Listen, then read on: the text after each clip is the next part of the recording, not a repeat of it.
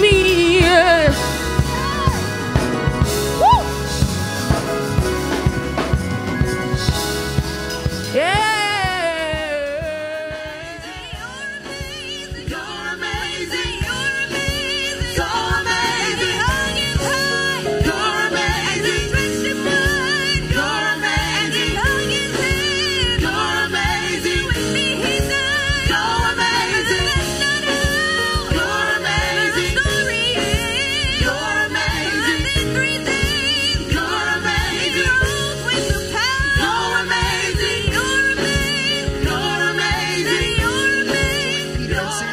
He made them one flesh. And that one flesh was more than spiritual. It made even their kidneys a match so that Peter could receive a kidney from his rib.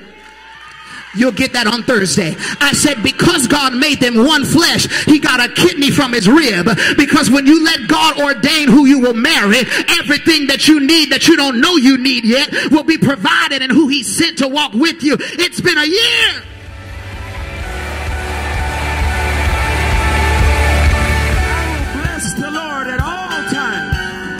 His praise shall continually be in my mouth. My soul shall make her boast in the Lord. The humble shall hear thereof and be glad. Oh, clap your hands, O ye people. Shout unto the Lord with a voice of triumph. Come on, navigate life without them. But in this next season, if you don't want to lose who you are, you better get a strong anointing on the inside of you to look at them like the Father or the Son and say, okay, you don't even know what you're doing, but okay. You don't know how risky it is out there, but okay. I don't really want you to go, but okay. I feel like you might mess up your life, but okay. Because I cannot protect you from the process. Because if I protect you from the process, I'll be protecting you from wholeness. If I protect you from the process, I'll be protecting you from deliverance. If I protect you from the process, I'll be protecting you from you learning who God is for yourself.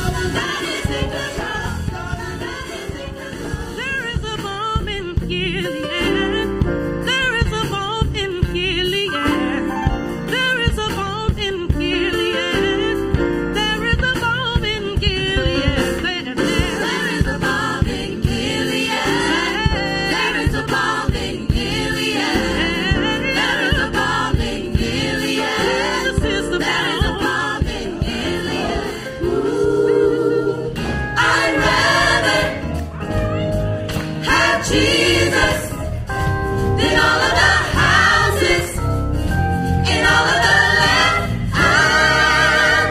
I'd, rather have Jesus.